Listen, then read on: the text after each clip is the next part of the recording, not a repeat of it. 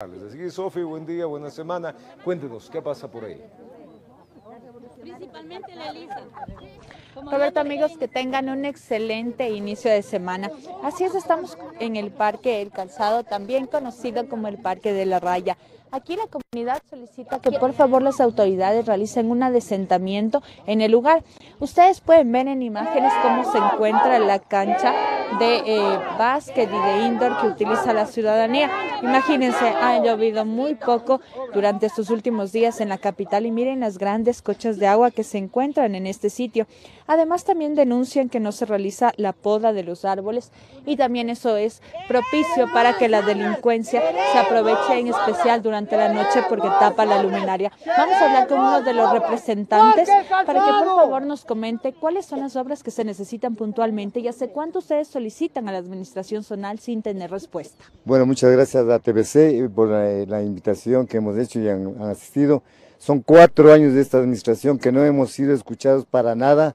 Nadie se ha preocupado de arreglar nuestro parque. Eh, vivimos en un total abandono. Existe inseguridad. Hay sitios totalmente destruidos que ya la gente no quiere hacer deporte por el miedo a lesionarse. Canchas eh, destruidas, como usted ve esta cancha también.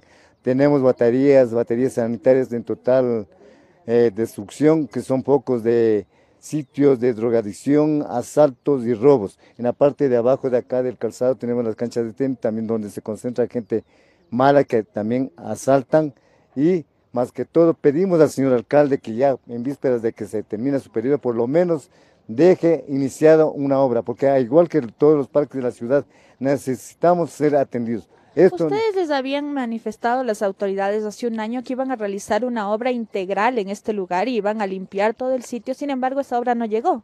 Nunca ha llegado, supuestamente estaba para el mes de junio del año anterior, pero nunca hicieron nada hasta la presente fecha. Como ustedes pueden ver en imágenes, hay una gran cantidad de personas que utilizan este parque, es bastante amplio y de allí la importancia también que el patrullaje policial también se haga presente en este sitio, puesto que hay varios focos donde se lastimosamente la delincuencia hace de las suyas, en especial durante la noche, ¿no?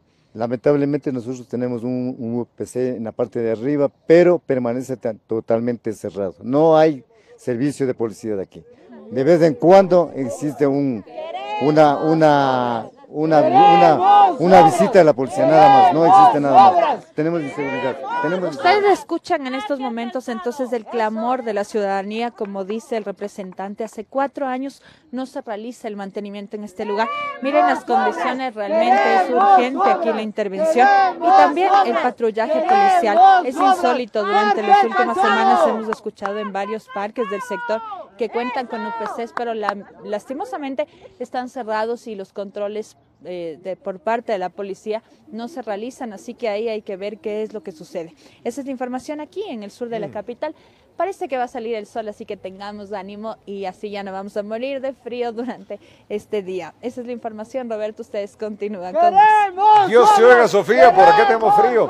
Gracias a ti, vecinos, tranquilidad, que ya las autoridades han visto el reportaje que se ha hecho y evidentemente necesitan obra, necesitan auxilio, estas canchas están en muy mal estado, necesitan tranquilidad con OPC. Ya veremos cómo este, el primer noticiero de la comunidad, les ayuda para que todos estos petitorios de alguna manera se vayan encauzando.